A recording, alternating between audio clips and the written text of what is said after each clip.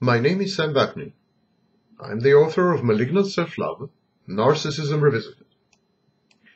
Abuse by proxy continues long after the relationship is officially over, at least as far as one of the parties is concerned.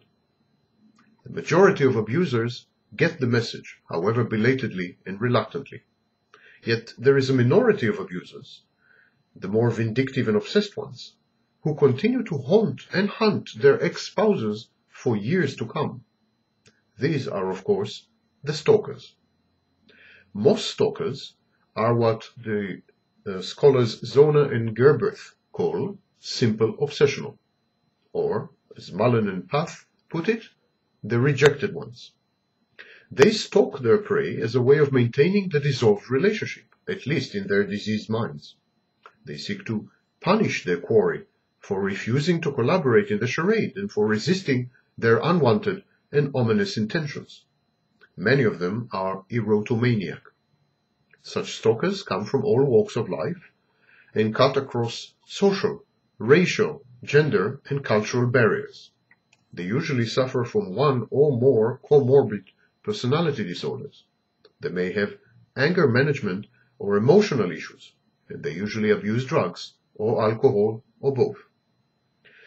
Stalkers are typically lonely, violent, and intermittently, intermittently unemployed, but they are rarely full-fledged criminals. Contrary to myths perpetrated by the mass media, studies show that most stalkers are men. They have high IQs, advanced degrees, and they are middle-aged. This has been proven in studies such as Meloy and Gothard, 1995, and Morrison in 2001.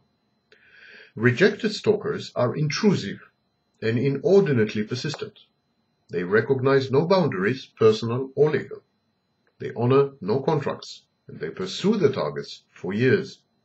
They interpret rejection as a sign of the victim's continued interest and obsession with them.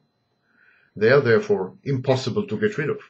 Many of them are narcissists, and thus lack empathy, feel omnipotent and immune to the consequences of their actions, and suffer from serious cognitive deficits, and a deteriorating reality test. Even so, some stalkers are possessed of an uncanny ability to, to psychologically penetrate other people.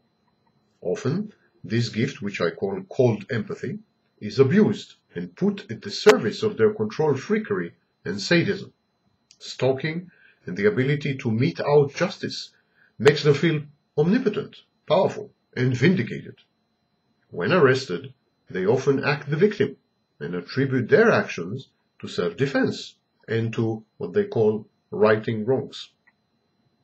Stalkers are emotionally labile and present with rigid and infantile primitive defense mechanisms, splitting, projection, projective identification, denial, intellectualization, and narcissism.